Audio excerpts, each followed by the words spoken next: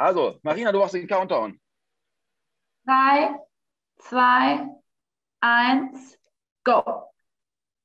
Einen schönen guten Tag, Galopp Deutschland. Hallo, Wetten das 20.21 Gemeinde.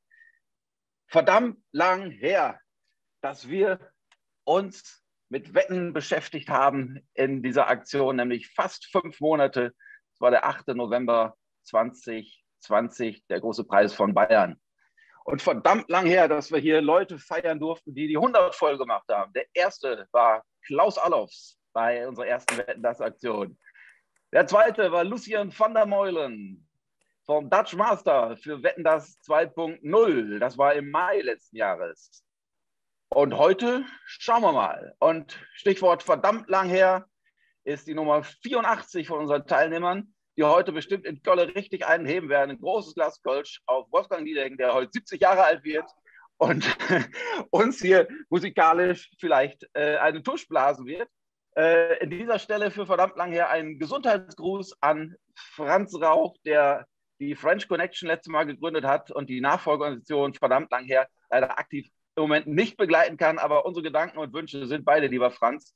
Machet Jod, würde ich Kölsche sagen, und sieh zu, dass du bald wieder auf die Beine kommst. Und Marina, du hast jetzt diesmal sehr, sehr, sehr stark mitgeholfen bei der Aktion.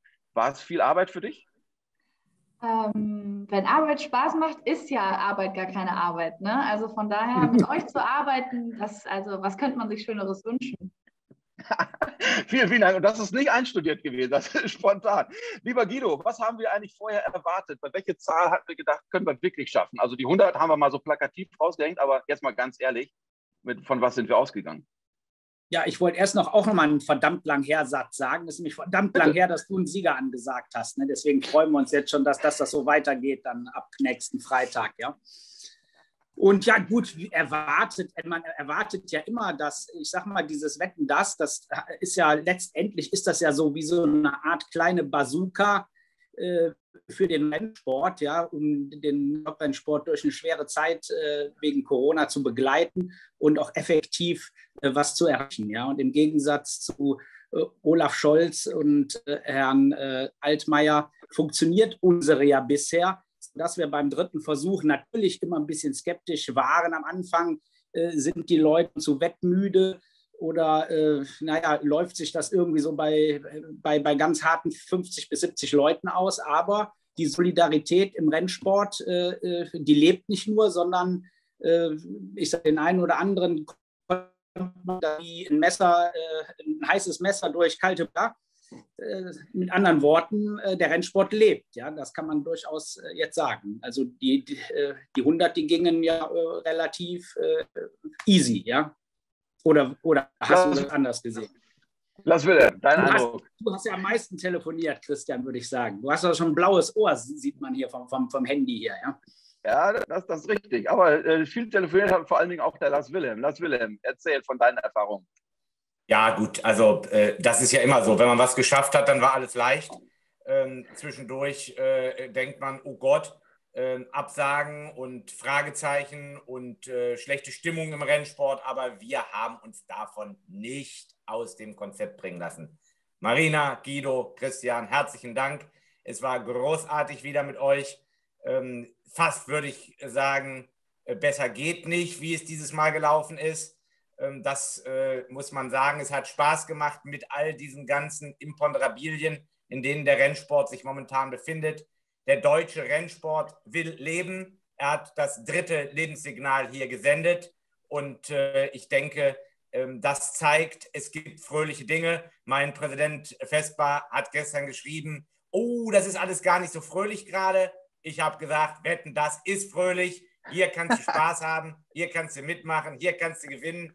Hier arbeiten wir dafür. Aber er hat natürlich recht, die Umsätze des letzten Wochenendes zeigen, wir brauchen euch alle da draußen. Alle Konten müssen aufgefüllt werden und die 100, die wir gleich präsentieren werden, die sollen noch nicht die letzten sein. Ich möchte mehr. Wo ist denn unser Rekord bislang, Lars Wilhelm? Ja, bei 118 hatten wir in der ersten Aktion und ähm, der deutsche Rennsport kann auch mehr als 118 gebrauchen. Deshalb auch wer jetzt sich noch nicht angemeldet hat, wer immer noch zweifelt, wer immer noch keine Tippgemeinschaft aufgestellt hat. Ich denke da zum Beispiel auch in meiner Familie gibt es noch Potenzial. Ja? Und Hör ähm, auf. da wolltest du anrufen, Christian. Und, das mache äh, ich jetzt. Nach der Sendung rufe ich ihn an. Danke, lieber Wilhelm Baumgarten.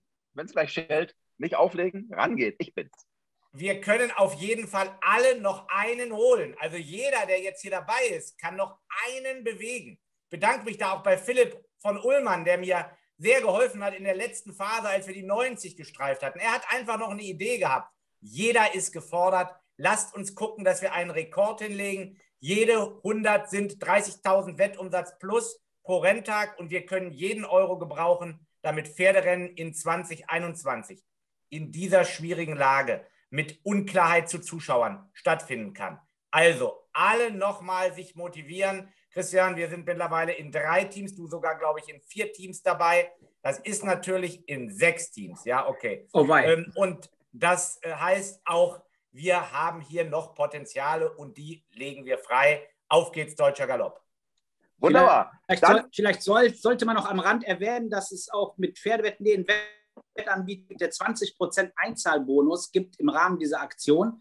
Und da die Siegwette ja 15% Marge hat, also wer den Einzahlbonus direkt nutzt fürs ganze Jahr mit einer etwas größeren Einzahlung, kann vielleicht äh, mehr oder weniger, auch wenn er mittelgut wettet, das Jahr umsonst wetten. Ja.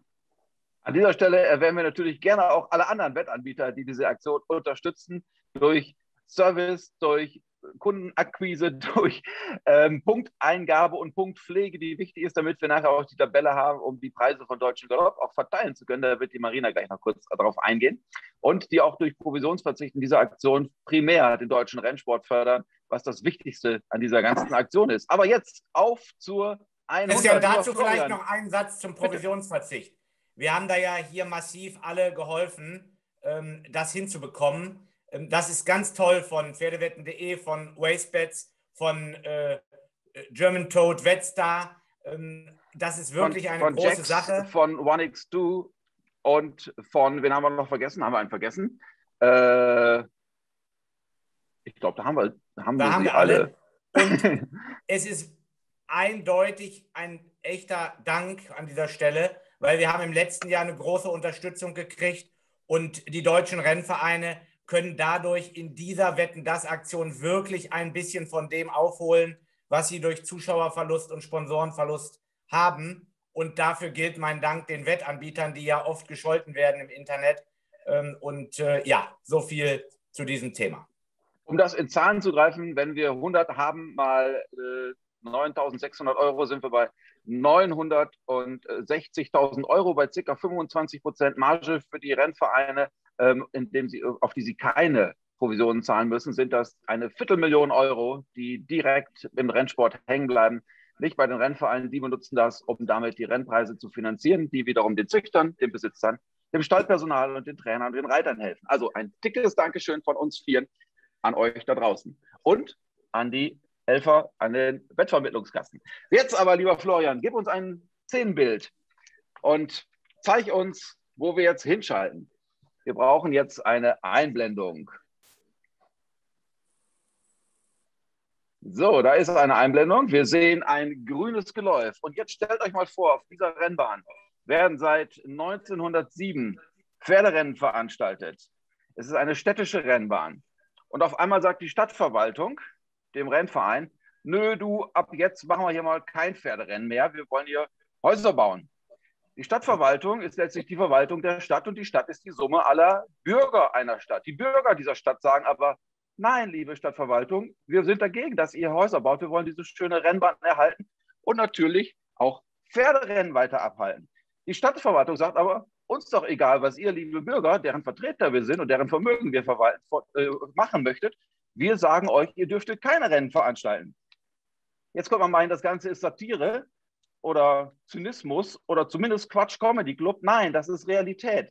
Und wir begrüßen jetzt im Bild Andreas Sponbiel von der Bürgerinitiative in Bremen. Andreas, einen herzlichen Moin. guten Tag, okay, schönen guten Morgen und Moin. Glückwunsch. Ihr seid die Nummer 100 bei unserem Wettspiel. Ja. das freut uns. Das ist eine große Ehre hier für uns. Und äh, wir freuen uns schon drauf. Wie heißt euer Team und euer Motto? Ja, unser Motto ist Bremen lebt und das Motto ist natürlich auch das Ziel, am 12.09. hier in Bremen den Renntag zu bekommen und überhaupt auf diesem Gelände Leben reinzubekommen. Und dafür kämpfen wir mittlerweile schon seit fünf Jahren und wir hoffen, dass es nicht noch weitere fünf werden. Du kämpfst aber nicht alleine, du hast noch Verstärkung. Das ist kein äh, Ego-Shooting, was du machst, sondern diese Initiative ist sehr, sehr, sehr breit aufgestellt in Bremen. Nicht nur mit 55,88 Prozent am, äh, 25., am 26. Mai 2019 so entschieden worden, sondern du hast tatsächlich tatkräftige, auch personelle Unterstützung. Kannst du uns da jemanden nennen? Ja, also bei unserer Aktion Bremen lebt äh, ist noch aus dem Rennverein natürlich äh, Pavel Wubtschenko dabei, Thomas Marun und auch Tonja Rogge. Wir haben auch noch ein, zwei weitere, die wir noch vorstellen. Aber hier heute, weil ich das wichtig finde, ist noch dabei und die kommen auch gleich ins Bild, Walter Kind vom Pferdesportverband. Wir haben da ein ganz enges Verhältnis, dass man hier auch zusammen steht in Bremen. Und äh, weil hier an der Stätte natürlich das Heimspiel immer das Hotel hat. Ein wunderbarer Ort, das Atlantik Hotel Galopprennbahn, der Direktor Stefan Kohlhase. Ich würde mal sagen, ihr holt die beiden oder ich hole sie gleich mal ins Bild. Zeig sie uns, genau. ja, hallo. So, das ist, das ist Walter Kind. Einen schönen, schönen guten Morgen nach hallo. Bremen aus München. Ähm, Pferdesportverband Bremen, das umfasst was? Reiten, Dressur, Springen?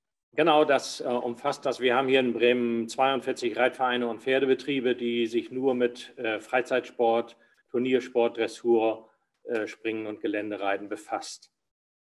Haben, die kann man doch äh, wunderbar auch auf der Rennbahn beschäftigen, oder? Ja, das ist unser Anliegen schon seit vielen Jahren. Wir haben äh, enge Kontakte immer zum äh, Rennverein gehegt, um hier im Innenbereich der Bahn Sport treiben zu können ähm, bisher war das immer durch eine Golfrange belegt. Das hat sich jetzt aber ja mittlerweile alles verändert. Und nun sehen wir die Chance hier äh, gemeinsam mit dem Rennverein diese Fläche schön beleben zu können für unseren Pferdesport. Dafür drücken wir alle Daumen von Gesamtgalopp Deutschland.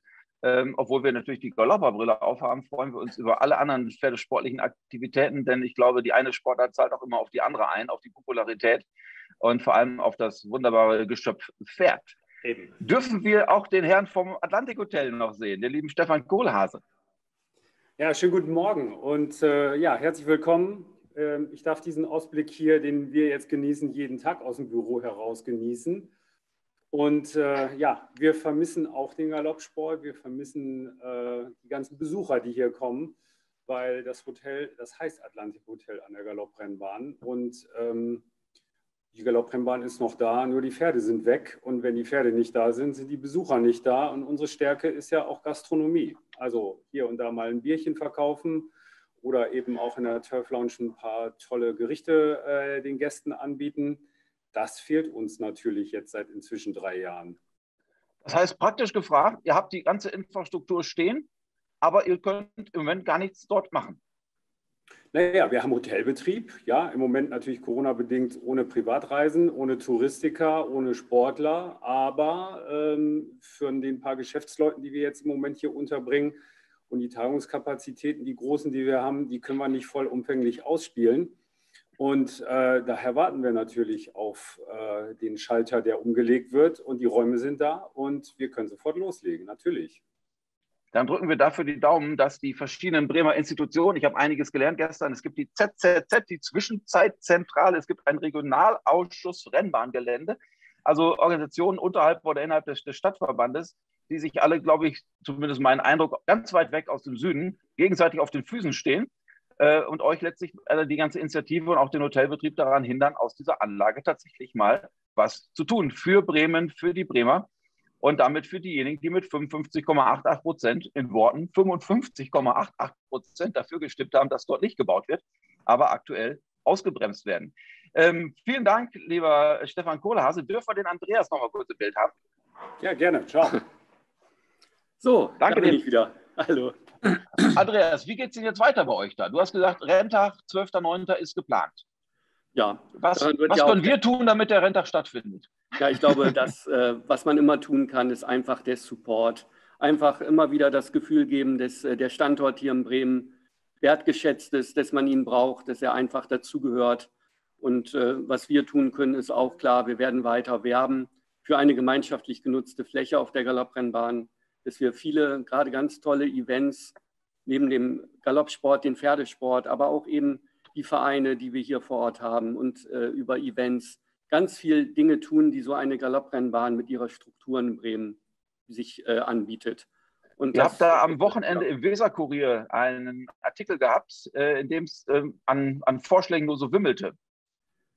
Ja, da waren viele Vorschläge. Wir haben ja viele Treffen im Vorfeld gehabt mit verschiedenen Initiativen und auch Vereinen. Und wir haben einfach gesagt, nach dieser langen Zeit, wir müssen jetzt nach vorne gehen. Das kommt auch nicht überall gut an, aber das ist am Ende ja für uns entscheidend, dass wir dem Bürger verpflichtet sind. Diese 55,8 Prozent, diese 30.000 Unterschriften, die wir gesammelt haben, da haben wir einen Eindruck gewonnen und dieser Prozess, der auch schon sehr lange dauert, der muss auch irgendwann zu einem guten Ende geführt werden. Und ich kann auch sagen, wir werden definitiv auch nochmal nach vorne gehen und werden versuchen, über einen Kompromiss hier einen Weg zu finden, dass am Ende diese Fläche, wie wir es auch gesagt haben, gemeinschaftlich genutzt wird. Und dazu gehört aus unserer Sicht die ganze Bandbreite auch des Pferdesports. Wunderbar, Andreas. Das Wort Gemeinschaft ist auch genau das, was, an das wir hier appellieren im deutschen Galopprennsport. Ihr brand, spannt den Schirm noch sehr viel weiter auf andere Sportarten, nicht nur im Pferdebereich, sondern querbeet durch alles, was Bremen bietet und was Bremen fasziniert. Wir drücken euch alle Daumen, finden euer Motto Bremen lebt ist perfekt gewählt. Gratulieren euch dazu und hoffen, dass die Nummer 100 nicht der Platz ist, den ihr am Ende der Challenge belegt, sondern gerne eine Null weniger oder gerne auch zwei Nullen weniger. Drücken euch dafür alle Daumen. Und äh, Grüße bitte ans ganze Bremer Team. Und wir hoffen, da in deinem Hintergrund in ziemlich genau, was haben wir denn, Anfang April jetzt in fünf Monaten und zwei Wochen Pferde laufen zu sehen. Am Renntag am 12.09. in der Bremer Fahrt. Ja, Lieber Andreas. Das wäre ganz toll, ganz toll. Alles Gute. Und wir bedanken und uns nochmal. Das ist für uns eine ganz tolle Sache und guckt euch den Ausblick an. Es ist schade drum, dass diese Fläche brach liegt. Ganz traurig. Ja, das kann man wohl sagen, ja. ja. Alles Gute, ihr Lieben. Okay. Und so. Hals und Bein. Hals und Bein für Bremen. Meine ersten Pferde, die ich besessen habe, standen mit meiner Familie zusammen in Bremen. Ich war oft dort, habe viele Morgenarbeiten dort gesehen und äh, ich hoffe sehr, dass ihr da erfolgreich seid und ihr an meinem 50. Geburtstag dort Pferderennen veranstaltet. Ja, jetzt kann ja nichts mehr schiefgehen, oder? Da, da gibt es dann einen Lars-Wilhelm-Baumgarten-Preis für sieglose 50-Jährige. Auf jeden Fall. Ihr Lieben, also jo. danke euch, tschüss nach Bremen. Jo, danke und dann viel Spaß noch. danke euch. Bremen lebt und hoffentlich nicht nur Bremen, sondern der gesamte deutsche Galopprennsport. Lars Willem hat es eben auch so schön zusammengefasst, unsere Erfahrung aus dieser Aktion. Liebe Marina, nachdem wir jetzt 100 haben und Lars Wilhelm gesagt hat, wir müssen die 119 erreichen, um den, den Rekord aus dem Wetten das 1.0 Aktion zu, zu steigern. Wir haben noch eine Aktion, die wir noch ein bisschen pushen wollen hier. Marina, erzähl uns doch was zu der Trainer- und Jockey-Wettung. Danke, das mache ich gerne, Christian. Beim letzten Mal haben wir schon angerissen, worum es geht. Wir möchten wieder unsere Aktiven, die Trainer und Jockeys, naja, so ein bisschen äh, motivieren, gerade in den Rennen, die wir dann je Sonntag als Vierer-Wettrennen ähm, haben. Das entscheiden ja ähm, primär ähm, wir zusammen mit den Rennvereinen. Und ähm, jetzt hat der liebe Florian das gerade eingeblendet. Ähm, wir wollten euch heute einfach gerne mal die Punkteregelung vorstellen. Es gibt für jeden ähm, Starter einen Punkt. Das heißt also bitte Starter für die Viererwettrennen. Ähm, jeder Starter lohnt sich schon, denn das gibt schon mal einen Punkt für die Punktewerte. Ähm, und dann haben wir uns entschieden, fünf Ränge nochmal extra zu bepunkten. Und das ähm, passiert dann so, dass der fünfte Rang zwei Punkte bekommt, der vierte drei Punkte, der dritte Rang bekommt vier Punkte, der zweite Rang fünf und äh, der Sieger bekommt zehn Punkte. Also in dem Fall der Siegjockey und der Siegtrainer, sodass wir am Ende wieder 7.777 Euro für die ersten drei Ränge der Gesamtwertung nach dem 7. November ähm, verteilen dürfen. Und darauf freue ich mich ganz besonders, denn wie wir alle wissen, ähm, hier macht es richtig Spaß und hier hat sich letztes Jahr echt ein toller Wettbewerb entwickelt und ähm, das wird wieder klasse. Den gewann übrigens bei den Trainern, der Name fiel eben schon von Andreas Sponbil, Pavel Wowczenko aus Bremen-Mandorf, der sicherlich Interesse hat, äh, auch jetzt wieder zu gewinnen und 2222 Euro extra Prämie abzuholen. dafür muss man schon normalerweise im Rennen 22.222 Euro als Trainer reinholen, um mit 10 Prozent auf die Summe zu kommen. Also, liebe Trainer, liebe Reiter, ähm, strengt euch an, liebe Trainer nennt, liebe Reiter reitet schnell und gut und umsichtig und erfolgreich, damit ihr hier extra Gelder abholen könnt. Und da wir schon beim Thema Prämieren und Preise sind, Marina, du bist gerade so gut unterwegs, mach doch gleich weiter. Wie schaut es mit unseren Tagespreisen aus? Was wir haben wir inzwischen zusammenbekommen?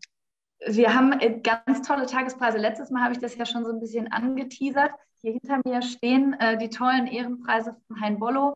Wir haben aber mittlerweile Freisprünge bekommen. Wir haben dank dem Gespiel Ozean ähm, wirklich, also das ist ja, also das ist ja praktisch ein, ein, ein, ein Wahnsinnspreis. Wir haben auch, und da möchte ich kurz zwei Sätze zu sagen, ähm, von sportwetten.de, äh, dank Pferdewetten.de tolle VIP-Pakete für Sportereignisse. Das kommt jetzt vielleicht erstmal so ein bisschen nebulös daher, aber da lohnt sich definitiv den einen oder anderen abzugreifen. Da verbirgen sich nämlich wirklich ganz tolle Erlebnisse hinter.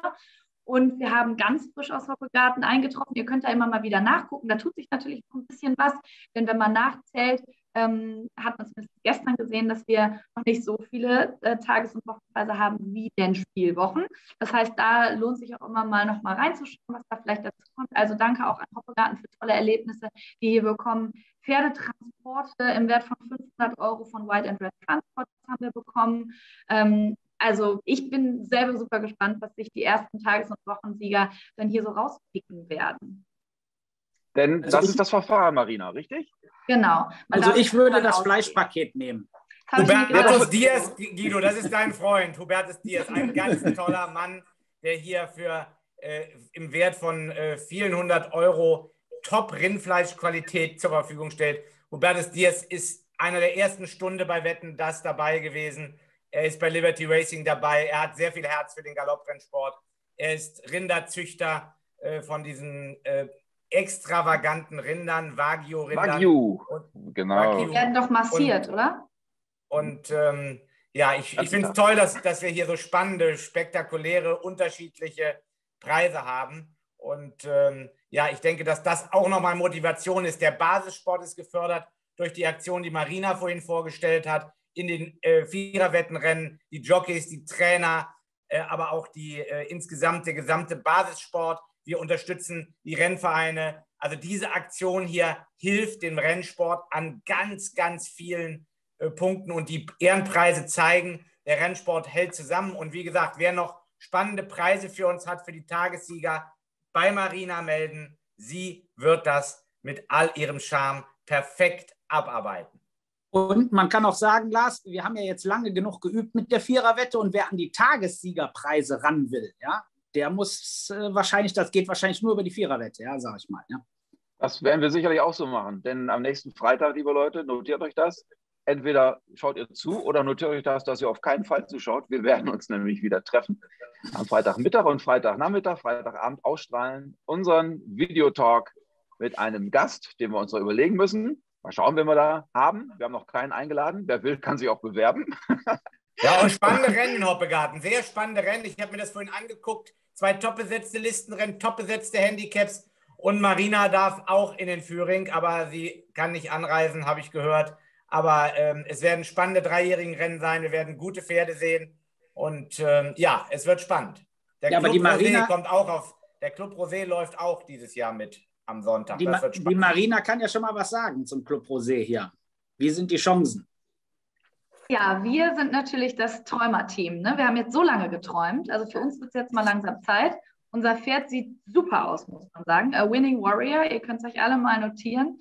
Ähm, bisher natürlich nicht nur sieglos, sondern auch ähm, noch nicht gelaufen. Aber äh, da können wir alle mal hinschauen am Sonntag. Also ich muss mal schauen, dass ich mein Team hier äh, zur Verfügung gestellt, netterweise von Wetzlar, ähm, mein Team Deutscher Galopp, ob ich das motiviert bekomme, äh, da mal so all in zu gehen beim Warrior. Okay, dann möge aus deinem Träumerteam, liebe Marina, ein Traumteam werden und, und ihr viel Erfolg haben mit Winning Warrior am Sonntag. Liebe Leute draußen, wir danken herzlich unseren 100 Mitspielenden. Einzelpersonen, Teams, Zweiergemeinschaften. Wir haben alles querbeet. Wir haben Wiederholungstäter teilweise zum dritten Mal. Wir haben Neulinge, über die wir uns ganz besonders freuen und hoffen, dass ihr viel Spaß habt, damit ihr auch irgendwann sagen könnt, jo, ich bin schon dritte Mal dabei in den kommenden Jahren. Und Lars Wilhelm, dein Appell und dann wird der Florian einen Abspann senden. Und mit dem Appell von Lars Wilhelm verabschieden wir uns bis zum nächsten Freitag. Ja, liebe Rennsportfans in ganz Deutschland, wir haben es geschafft. Wetten das 20.21 hat das 100. Team aus Bremen von der Galopprennbahn. Am Sonntag geht es los. Ich freue mich riesig drauf. Es wird ein tolles Osterfest, auch in solchen Zeiten, denn Wetten das 20.21 startet. Schaut alle nochmal auf eure Wettkonten. Guckt, ob ihr genug Geld drauf habt. Guckt, ob ihr die Verifizierung des Spielerschutzes gemacht habt. Alles Dinge, an denen man Sonntagmorgen scheitern kann und dann ist man richtig frustriert. Heute ist noch Zeit. Anrufen bei den Wettanbietern, die Service-Hotline wählen, gucken, ob das alles seine Richtigkeit hat, insbesondere für Leute, die das erste Mal dabei sind. Aber der Formalismus, der interessiert mich eigentlich nicht. Wir sind mit Herzblut für Vollblut unterwegs und deshalb geht es auf.